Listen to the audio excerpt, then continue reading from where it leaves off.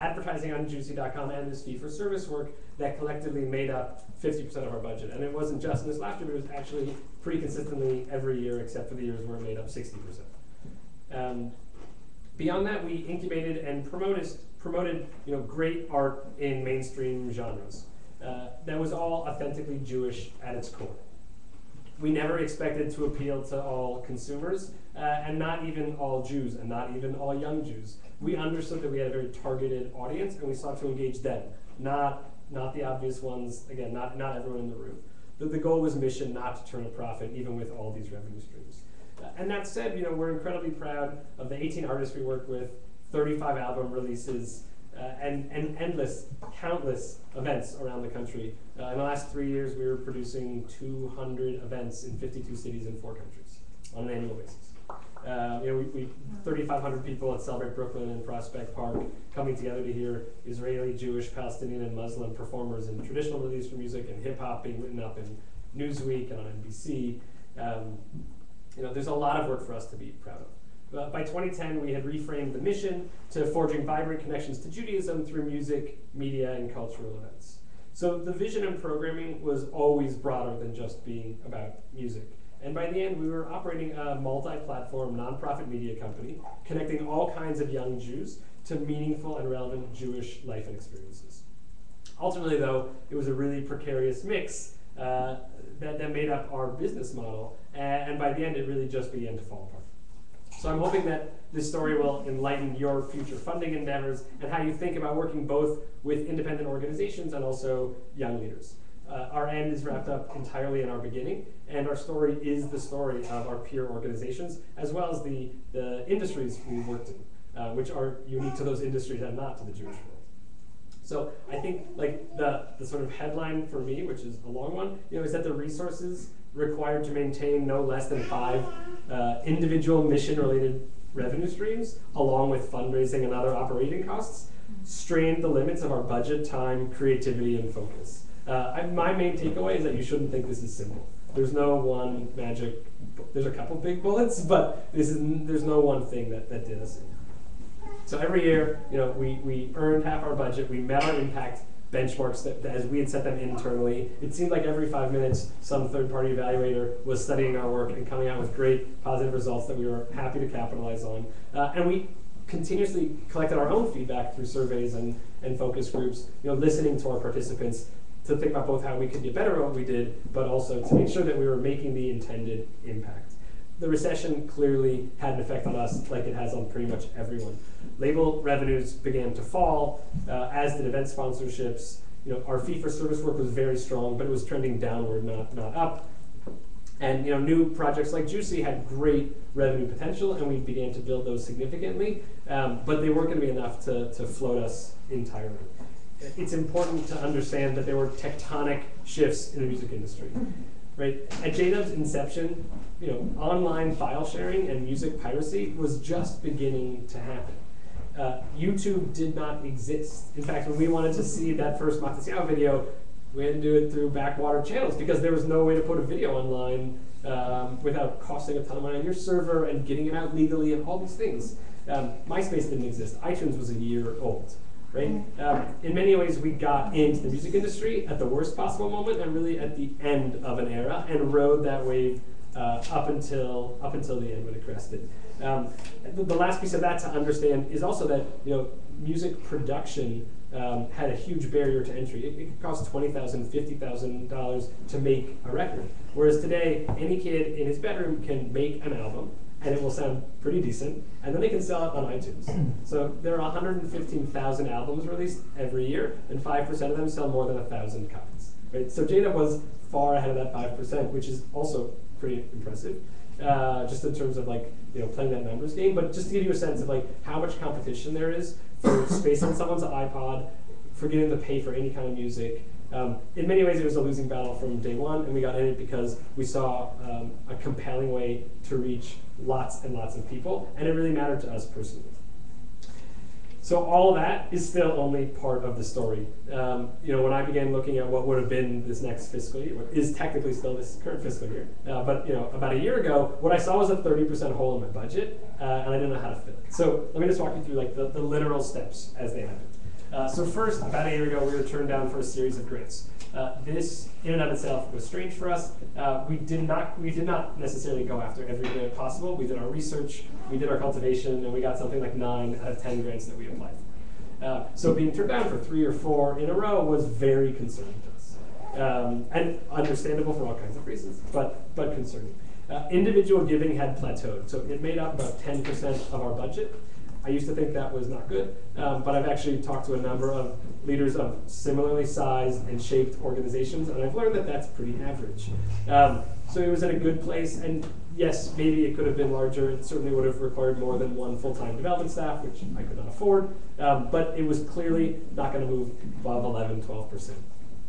Uh, as I said, our fee for service work was profitable, but it wasn't growing organically. It was the one area we worked where we didn't have se uh, uh, separate staff, program staff. We really we pulled from everyone's expertise and time. Um, and while we were doing work, creating events, working on strategy, marketing, uh, communications, it wasn't a logical source of donations, and we didn't have the capital available to us to build it out as a business, even though there was clearly room for that kind of growth. Uh, raising local uh, grants was not uh, the worst thing. We, were, we had just secured a number of new local grants, but general operating dollars were almost impossible to come by. So Natan, which funded us consistently for seven or eight years, uh, was one of our only, and in some years only, funder giving us general operating support. Um, and even that I had to apply for every year. And for very understandable reasons, that was clearly going to run out or be minimized significantly. then we have higher costs than we'd ever had before we had set out always to create a very professional organization. It was important to me, um, as much as we could, to set a new bar within the Jewish world for what it meant to work in the Jewish world. What that meant was I pay people livable wages, or at least somewhat livable wages, and that includes myself. Um, in 2009, right, right, smack in the middle of the recession, as a lot of this change internally was going on, we also had major staff turnover, which was important for a lot of reasons, um, but it did happen, and we grew our staff. So I brought in a whole new cadre of of staff at what, what is clearly not the most opportune moment, um, and didn't necessarily have all the time or resources to fully train them before I had to throw them in running to everything that needed to happen. Um, and again, ultimately, five program areas, a $1.1 million budget, nine staff people. We had a lot of work to do, and it wasn't as if you know five staff could do the same amount of work of nine, and certainly one was not going to make up the work of nine. And uh, maybe one of our big takeaways, challenges here, uh, the development culture in the Jewish world does not allow for shrinking, it only allows for growth.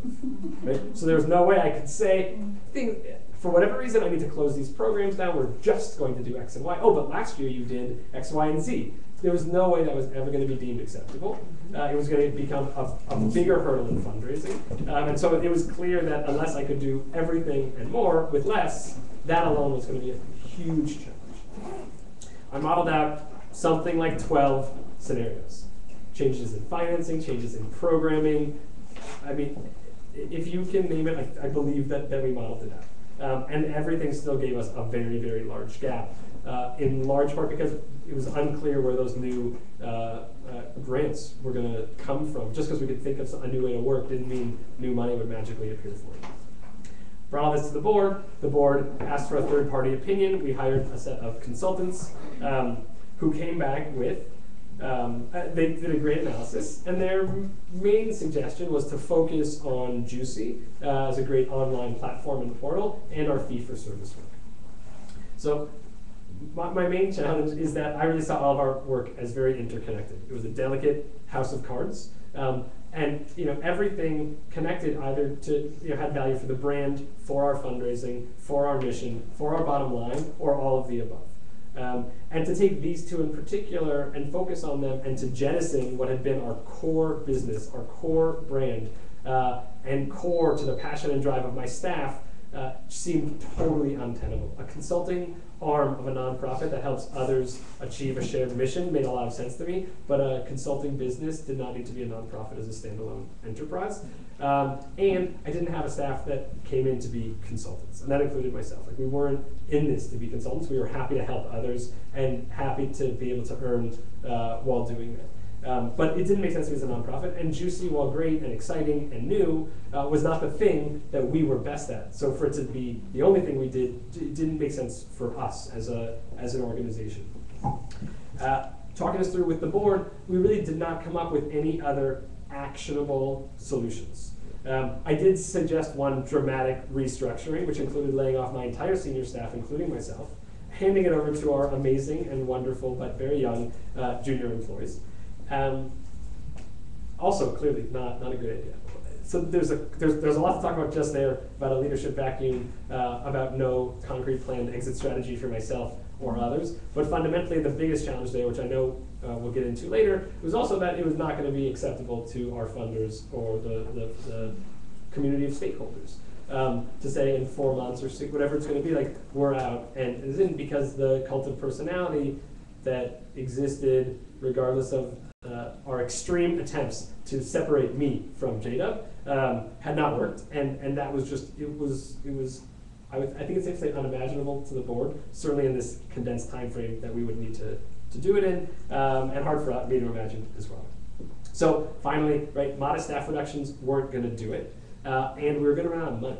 Um, and so rather than just like hit a wall and have a, carry a ton of debt and really have no way to, to even meet our obligations, um, you know, we, we made a different decision, which was to call it a day at a moment where we could still be in control of a number of the outcomes. That includes uh, severance to our employees, but also includes uh, saving as much as possible of our work. so while a lot of it is still not uh, totally complete uh, or public, you know, much of our legacy lives on. So what we're losing, um, very sadly, is the work we did to develop artists and to help those artists develop unique Jewish voices, and to do it in a cost-efficient way, and particularly with music and live cultural events. No one is taking that on. No one I know is taking it on. It is the most expensive work. Um, but Jewcy is now has a home at Tablet Magazine, another amazing online property which we helped build over two years with an amazing staff uh, and a real understanding of what an online Jewish property needs to be. Um, the label, all of our records will stay active. They're being sold as a catalog to a for-profit buyer, um, a great business partner of ours, and by selling it, um, we, we incentivize them to continue to push it out in the world. So while that doesn't mean new JDub music, uh, existing JDub music will be in the marketplace for hopefully ever, certainly the foreseeable future. Um, uh, an archive is taking all of our business papers, uh, and a museum is taking really everything we've ever created for to be utilized in, in a number of ways there. So there's a lot of legacy there. I knew I wouldn't get through. Okay, uh, I'm gonna I'm gonna go like two more minutes, uh, if that's okay. Of course. Uh, okay, so after 10 years with visionary foundations, federations, and, and, individuals who clearly understood the need to take risks and innovate if we really want our community to grow and survive, we looked around in this kind of, I mean, really it was before this moment of crisis, and this was the problem. The gap in general came from the fact that there was, uh, you know, not a lack of interest or need, but a complete and total lack of infrastructure and capacity to support a successful, mature Jewish startup. Right? So if you think about for-profit funding structures, you have an inverted triangle, right? You have an idea, you raise a little bit of money here, right? And the idea is like, if your idea has legs or you, you, you, know, you sell at least the concept, you get a larger investment. And then to get to scale and profitability, you're gonna get even more money. You have to, this, right? This is how it works in order to get to where you need to get to. In the Jewish world, we have a regular triangle. The most money is available to startups, right? And as you get more successful, there is less money available to you it's understandable for all kinds of reasons, but I believe that's a factor right now. If you take if you take independent or innovative, however you want to qualify it, independent organizations right now do not have access as a cadre to more money as they grow. They have access to less. Um, I think this is a huge problem. Uh, I, I, hope it's obvious why that's a huge problem. I think there's this unstated trajectory uh, amongst many in the philanthropic community for Jewish startups. You get foundation funding to get to start you build a board, you build an individual, individual donor base, and that individual donor base allows your foundation funders to exit. Uh, except no one does this, except for perhaps federations. Like, um, and federations, I mean, UJ Federation New York, an amazing partner to JDub for so, so long, as are a number of other federations. But understandably, some of those individuals, I, I needed to, if I was going to build 200 huge entertainment donors, I, I was leap years behind them, and I didn't want to be competing with an important supporter. Um, I don't think this, this trajectory makes sense. I think the notion of sustainability is a red herring. I think it means to most of us that someone else will fund it so I don't have to, even if I love it. No nonprofit is sustainable. right? It's, it's not possible. If a nonprofit generates hundred percent of its, of its budget from, uh, its revenues, it's probably illegal. Uh, it certainly can't do it from untaxed revenues. Um, that, that's, that's clear. By definition, nonprofits require philanthropic support. I think this is obvious, I think we all know it, but it's like we're just pushing it off on someone else. Instead of perhaps needing to say, like, this isn't a priority to me, or this needs to move on. I think there are all kinds of acceptable, reasonable answers, um, but not in my backyard is a problem. Um, so here's what sustainability is to a Jewish nonprofit. You do whatever it takes to survive. That means you don't pay yourself, you know, you don't have a work-life balance, you expect the same of your staff, um, and you just do it as long as you can. And then at some point you grow up. If you want to lead a Jewish life, this is particularly problematic because you can't afford it. Um, that may not be the same for having a family, whatever it is. Um, but you know, what you do to project sustainability itself is not sustainable. Um, and and we never. Oh, I guess I'll end here, Dan, so that I don't take all of your time. We never set out to exist forever. We clearly we do not see this as failure. What we see is 10 years of success with an untested business model, um, doing more or less what we believe needed to be done. And we, you know, we didn't feel like we ever had to compromise our work, our values, or our vision. Um, and as much as we could critique our structure and our fundraising strategy, um, it's not the point, and it's not it's not really what's what's at issue. We were in a dying business industry, and there was no philanthropic structure for further support. And those two things together, collectively, really kind of undid us. We, we just could not find find an answer there. I'll just end by saying I think that the questions we were asking, which are fundamentally about like why be Jewish today, like what does it matter to some kid who doesn't have great Jewish literacy, who knows he's Jewish but doesn't know much else? Like why should he be Jewish? Right? In our in our unique way, we gave one not necessarily an answer, but a spark. Right? Uh, for some people it was an answer, for some people it was a spark, but we got out there. The questions are still being asked. Other orgs are clearly dealing with this as well. Uh, I think the biggest challenge ahead of us is addressing some of these challenges that I'm raising now, because you know young leaders will continue to try to come up with answers, and organizations will continue to exist, or at least try to exist. But if we don't address some of these fundamental challenges, at least to this kind of a sector, that's where the that's where the problems really are. So sorry to get into some of your time, No but uh, but thanks for listening. So I, I, as you know, both sat on the uh, on the board of, uh, of JDub and was was part of it for quite a while, and, and it was one of my my great passions in the nonprofit world. Um, and I was also a funder. Um, I was a personal fund, funder and, and donor for, for a number of years, predating my my real involvement in the organization. And uh, my family foundation, which is a relatively small foundation, um, was a pretty consistent funder of JDub as well um, over the years. Um, so I, I, I wore a couple of hats and, and try and weave those together a little bit. But seven years ago, a young college kid from Bigfork, Montana, told me about this great CD he had copied from a friend of his. Uh, Bigfork, population 1,400, uh, is a beautiful place to live, um, but it's not exactly the throbbing heart of the organized Jewish community. Uh, as you would expect, this particular kid was not spending his summers at Jewish camp, um, and he wasn't really connected to, to the Jewish community or Jewish life in any real way.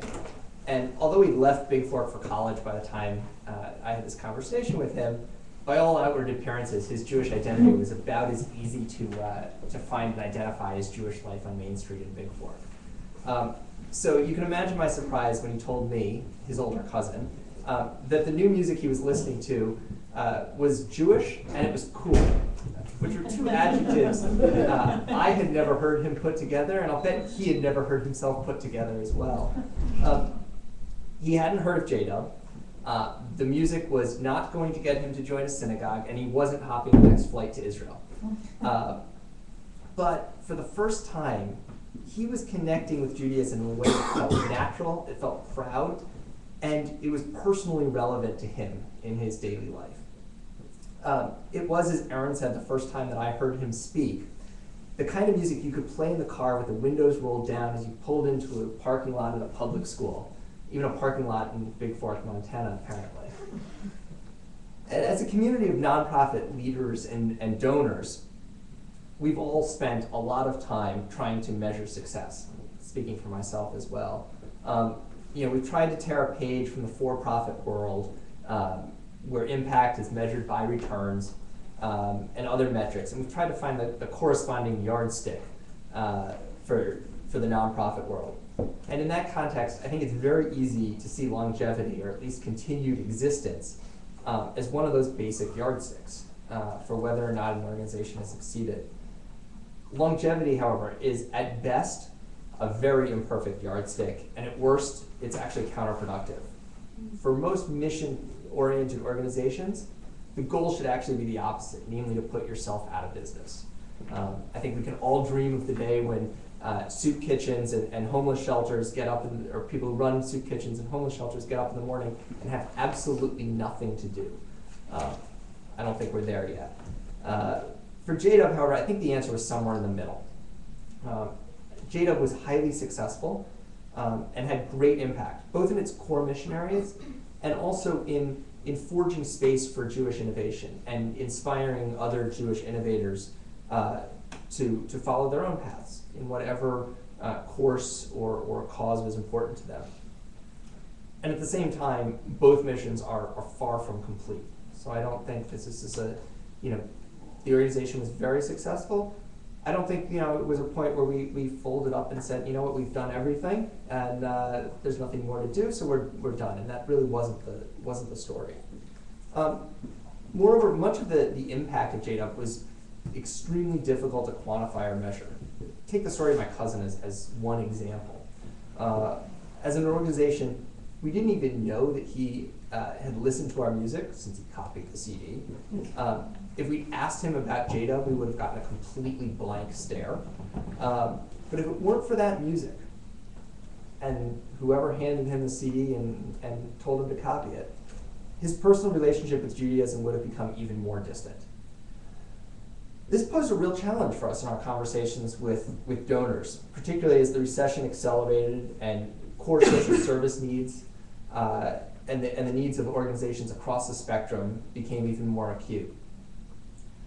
I wish that I had a perfect metric to offer you tonight. Um, a way to decide how to balance the needs of exciting new Jewish innovation uh, and the core social service agency in, in our backyard.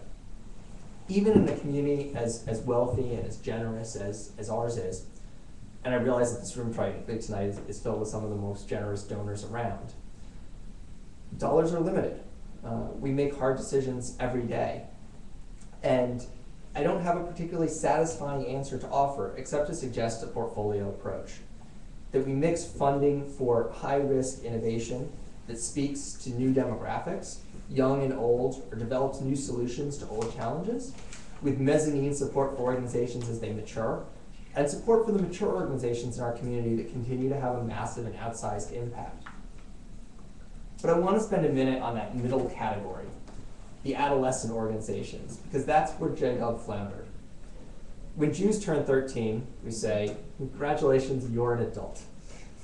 My, my son's only seven months old, so forgive me if I get the, the metaphor a bit wrong, but 13 year olds are definitely not ready to go out into the world all by themselves and, and face those challenges. To the contrary, it's frankly an extraordinarily stressful time of growth and challenge. And from my perspective on the, on the JDUB board, over the, especially over the last uh, two or three years, felt a little bit like reliving middle school with all of the, the challenges and, and trying to find our way. Uh, the external world was, was challenging and our needs were growing at the same time as, as Aaron just went through. Our budget was increasing each year, and even with those increased budgets, we were really, you know, Aaron, Aaron undersold this, but we were really severely underpaying our staff, and, and we were really borrowing from them uh, financially. We were asking more and more from, of them and, and not paying them uh, as they were due. You know, our, our senior staff weren't 22 year olds anymore, um, you know, who could, uh, who could live a student's existence. They were adults with their own families trying to live in a ridiculously expensive city, and you know, particularly if you want to, uh, to send your kids to day schools and things like that. It's not easy to do on, on the kind of salaries that we were able to, to afford. Uh, and I think that's one area that we need to think about as we, uh, as we fund not just organizations but innovators who we want to be the future of the, of the Jewish nonprofit community, that we need to make this sustainable. Um, At the same time, funding was becoming more and more challenging. We weren't the newest kid on the block. Um, we weren't the beneficiary of true startup funding, but we weren't an established organization with a strong, robust annual donor base that, that would come in on a, on a predictable schedule. Um, as a community, we need to figure out this issue of how do we support organizations as they grow uh, through those awkward middle school years. At the same time, it's not easy. It's not an easy question for donors. It's not an easy question for, for the community writ large. Um, the organizations, these middle school organizations, their budgets are becoming larger. And at the same time, the need for mentoring and board leadership uh, from people like those of you in this room is even greater uh, as, as, those challenges grow. Um, you know, the perspective uh, and, and the knowledge is, is even, even greater demand. But without the innovation in and supporting these organizations as they grow uh, into more established organizations, we risk losing some of them, some of the organizations that have a real potential and a real connection and relevance to key demographics. I'm not positing that all startup organizations should grow and, uh, and continue to be funded, but I think we need to think about, uh, for those that are successful and that are having impact, how do we, how do we continue to foster that? At the same time, I want to say that there are some very positive things we can learn uh, from JDub over the last few years. Uh, the partnership that we formed with Nextbook and Tablet is, is an interesting and I think an important model for us to look at. Um, through that partnership, the two organizations shared physical space, they shared ideas, they shared expertise in reaching key demographics. Um, and similarly for some of the, uh, the relationships that JDub fostered with, with other organizations. I think that that kind of partnership and, and symbiotic relationship is something that we should continue to, uh, to pursue. Um, and frankly, I'm particularly excited that, that at least one of JDub's uh, important programs, Jewcy, is going to continue to live on, and that Tablet is, um, is becoming the, the publisher of, uh, of Jewcy going forward. I just want to close. I've spent a lot of time dwelling on, on what JDub's story says about the state of Jewish innovation writ large. And I think you know, there have been a lot of articles, and a lot of talk about what do we take out of this. And I think the decision to close certainly raises issues, right? The need for ongoing financial support, um, the personal leadership that, uh, that these organizations need from, uh, from experienced uh, lay leadership in the nonprofit world. Um, but frankly, you know, even with all of the questions that it raises, it's hard not to be excited about the ongoing potential of the, frankly, hundreds of new and innovative Jewish organizations in the US and around the world, and the individual innovators themselves, the individual people who are starting uh, and leading these organizations. They're unbelievably dedicated to finding new ways of addressing these challenges uh, and to, to having a direct impact. I truly believe that organizations such as JDub will have an ongoing impact, both in achieving their mission and in creating space for future innovation and attracting new leadership and, and excitement to the field. And so I, uh, I hope and I believe that even though uh, JDub as an organization won't exist, uh, the impact on people like my cousin who listened to that music for the first time, uh, and innovators who will come after JDub and see it as a model will, will continue to, uh, to bear fruit. Thank you guys.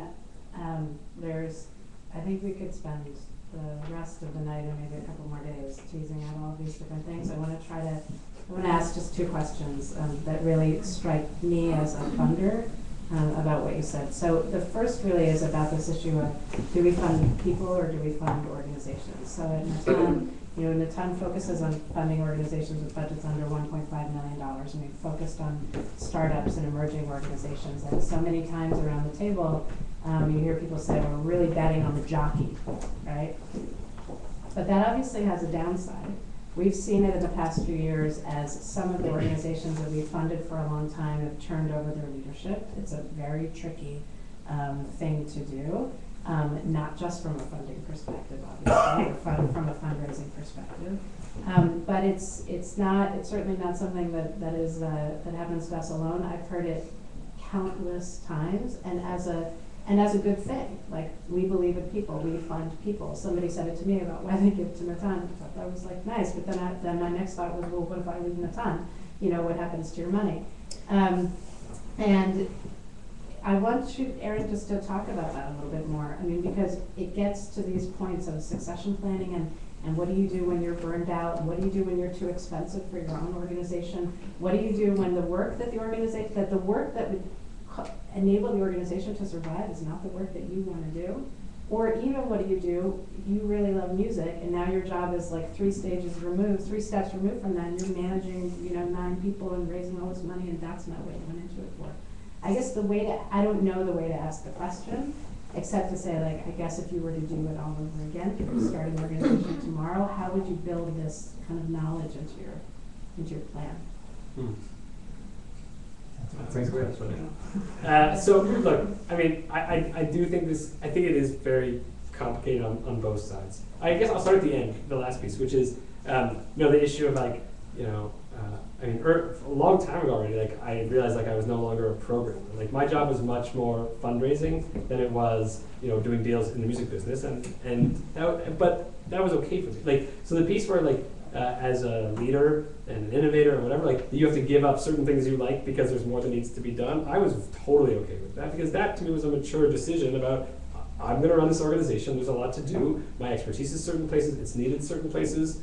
So that piece, I, I think there are a lot of I know that there are a lot of current leaders who are struggling with that. But I didn't feel like I, and partially was because my team allowed me to insert myself at certain times. You know, like they knew what I wanted and needed, and, and vice versa. But partially, like, I really feel like I accepted that, and I sort of, in many ways, I moved on.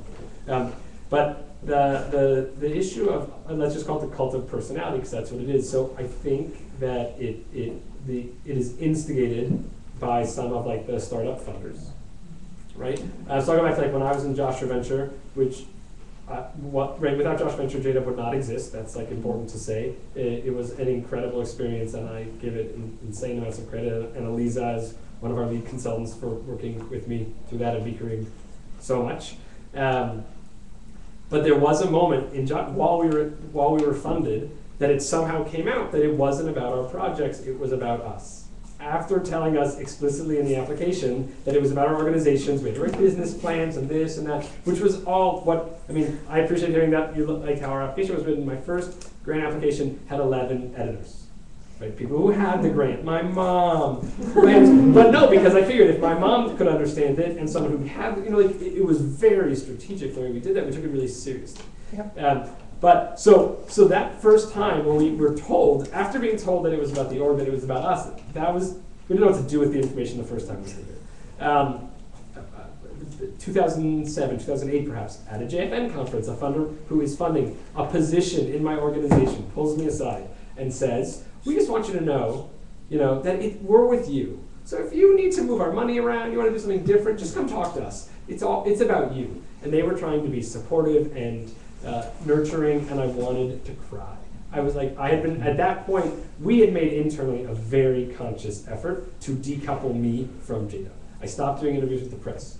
I, we, we, we, I mean, we had other people involved in pitching. We had, you know, other people going out as, as all kind, in all kinds of leadership roles explicitly to empower them and make room for their own leadership growth and to decouple it from me. There was the time that someone was introduced as me when they went to receive an oh, sorry, um, but so but so that experience but that was bad that was really bad when it was like so what the person we're funding it's all about you like that was hard and more recently um, Hard because it wasn't about the organization and what you Yeah, did, it was just about. because you what- as right, yeah, sorry. was a woman who was introduced as you. no, no, hard. Sorry, hard. Right, because here I was tr- really tr- not because at that point I was like I'm out in a year, but because like this shouldn't. It's fun at first when it's like oh lots of attention, that's nice. But I wasn't doing it for the attention, right? And so to make it to make it just about like my vision, my this, my that. Like when I no longer felt that way and certainly didn't want that. To hear that for all of that, what I thought was all this work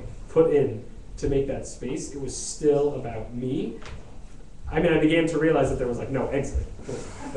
um, and more recently, more recently though, I had a great long conversation with a current funder in processing all this. Who said, like, if you now leave the Jewish world, like, basically, basically, you know, chaval, like, what a loss to the Jewish world for all this investment that's been made in you. And it was really meant as a very nice thing. And it made me, it, I really got upset because you know what I heard in that was like, we've invested in you, we own you, indentured servitude, you are with us for life. And that would be okay. That would be okay if it was explicit what I signed up for, right? And pay better. well, certainly if it, no, but I mean, this is, so this is where like I will, I'm gonna like throw something down. I think that if uh, funding of certainly of innovation and independent organizations is actually about funding leadership, I think you're wasting your money. I think that it's time to be honest with yourselves and with us as leaders. Um, in part because we need to know it, and also you do. Like, it's just inefficient. There are more efficient ways to build leadership. There's, you know, there are fellowship models. There's all kinds of models. The money would be better spent in those places if it really isn't about the organization. I think whatever the answer is is perfectly acceptable. Certainly, funders have every right to make their funding decisions however they want. I will, I'm never the guy to say like you should like. I'm not going to tell you what to do with your money. But I, I, I, hope you want to make strategic decisions, and I hope if you're willing to, you're doing that, you're willing to question your fundamental beliefs and the reasons behind your investments. Um, uh, so I, I think the point we've gotten to is dangerous, ultimately. I, I think that making it so much about the leaders traps the leader and traps the organization. Like, so it's possible there are lots of organizations that shouldn't exist because people are just funding uh, a charismatic individual and, and really like communal dollars are being wasted or, or, or vice versa. Um, so this is an area clearly I feel passionate about. I think it's really complicated. I did not want to leave. This is not to say I wanted to.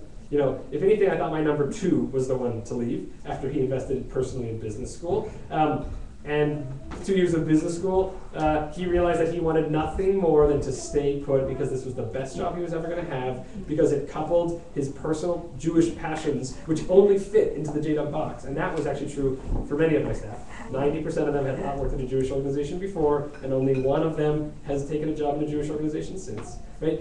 Like people like they, they were falling over themselves to stay put. But the moment we realized that salaries could not grow, or if anything, couldn't even exist, then it was like running. People were running for you know had to start running for the hills because you wanted all you want at the point at which real life takes over. You're, you're stuck. So, uh, yeah. I have a different view. I've definitely funded individuals. Um, usually, like always, not explicitly. And, and the organization has to be compelling. The organization has to mean something to me. Um, and I have to believe that there's impact. But I've seen a lot of organizations that have changed, that have evolved, that have um, that have grown in different ways. Frankly, JDub's a perfect example. It was just a music company. It was just a music and event company when it started. By the time we ended, it was five different streams. It was Jewcy. It was music. It was events. It was fee for service. It was uh, such a wide spectrum. That doesn't happen without leadership. And so, I think, from my perspective, um, looking at the organization, especially at the startup phase, this is not necessarily for big established organizations, but at the startup phase, to understand the organization and understand the leadership, I think is very important to me.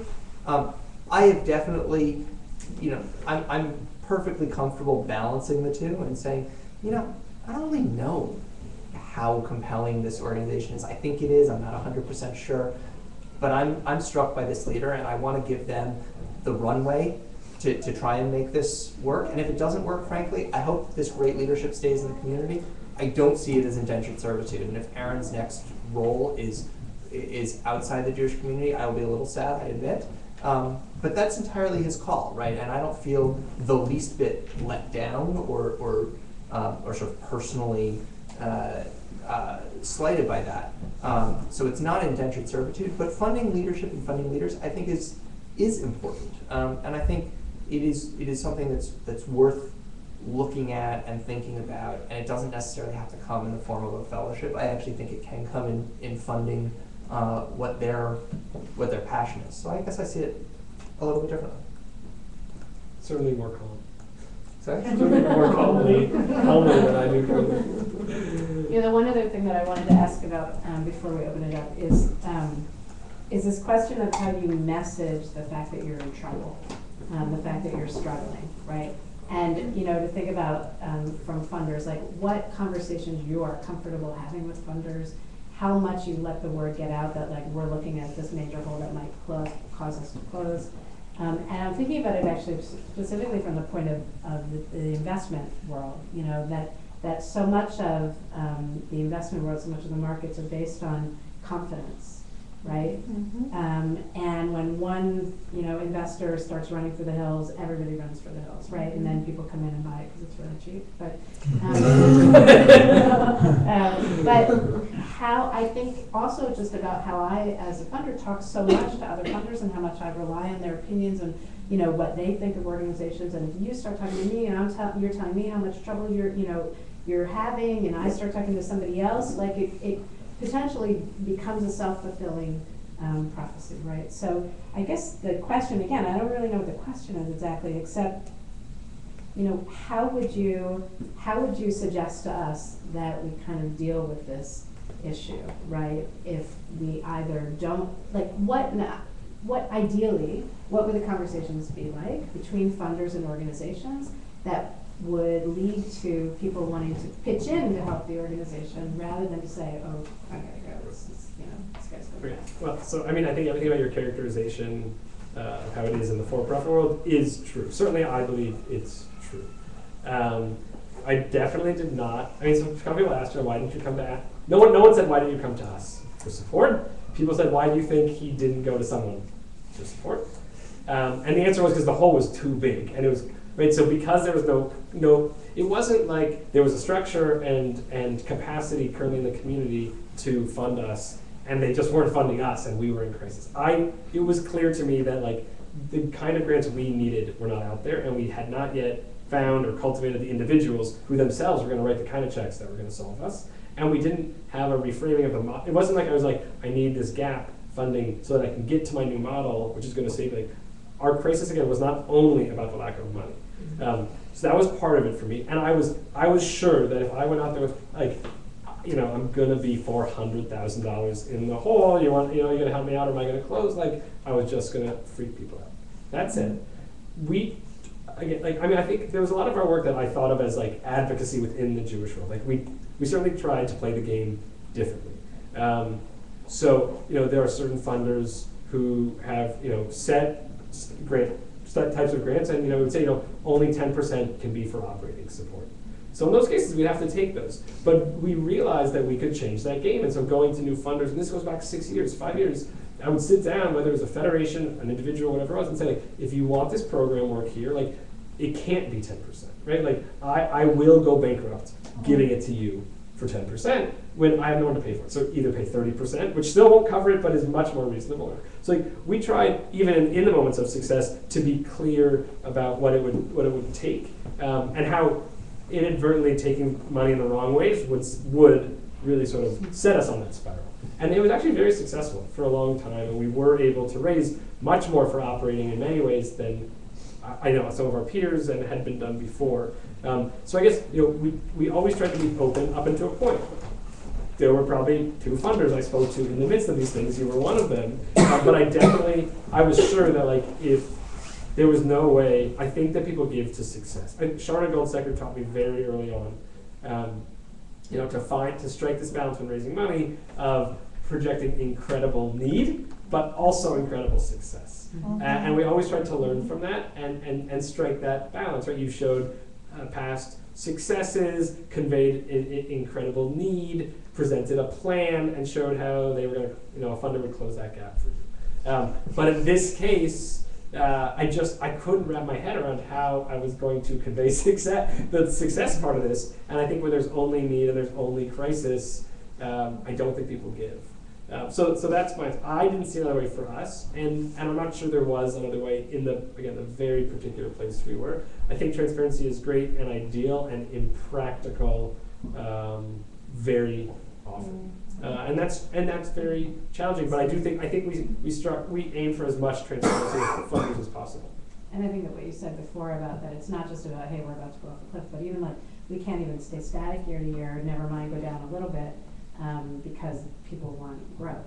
Right, and, and I I think that's also, I mean, I have one lovely funder with us for many, many years, um, but I applied for a grant pre-recession. I was grant, I was, the grant was made the beginning of the recession, and before I signed the documents, I asked that we change it. They also gave me half of what I asked for. And then I asked that we change the benchmarks because it was already clear to me that with half the money during a recession, what I had initially set out to do wasn't gonna be anymore. And, uh, the decision was take it or leave it. Uh, so we took it, clearly we had, we needed to. Um, but it's just, I mean, the situations that we get, that we sort of can get set up and were very, very tricky to, to maneuver. I, I agree. I don't think that there's a right answer to this. I, I think that um, going out and, and at a time of, uh, of weakness and, and saying, look, we're desperate, um, doesn't work. I mean, we were going through this and having some pretty intense conversations amongst a small group of board members uh, about a year ago. Um, really intense, you know, detailed conversations. It was the dozen different scenarios that Aaron mentioned.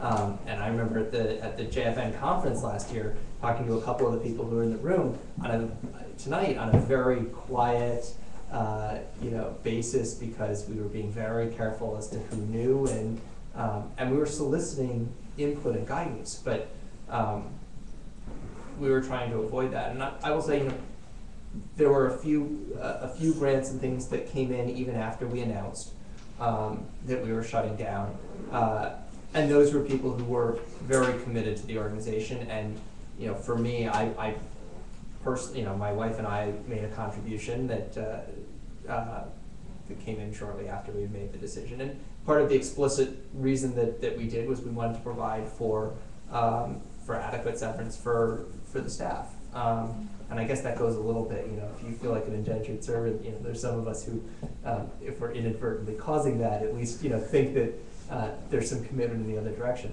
Um, but, you know, I absolutely understand people who, after you say we're shutting down, but we're looking for some money to, uh, to, to support that on an orderly basis, say, that's, that's not our game. I mean, it's a little bit like a politician doing a retire the debt campaign. It's not exactly the most compelling uh, uh, pitch. I, I, I want to just have two clarifications. I don't feel like an indentured servant. I was just saying that in that setup, I might. Um, and I should also just clarify that that same funder who I had a challenging negotiation with is also one of the few to say like, "Are you okay? Do you have what you need to shut down?" To even ask the question, not even about if they were going to make the gift, right? But very few asked the question, uh, and and that was much appreciated. So like, I, I, I want to make sure we're, we're clear on my deep appreciation and the complexity of some of these uh, relations. And every funder, except for one that I'm still negotiating with, um, completed their gift. I mean, we had, we had work that was completed but not paid for. We had some work that wasn't completed, and I asked those funders to make the gift anyway to help us close out. And all but one thus have, have, have done so, and I'm optimistic the last one will, uh, will, will come on board as well.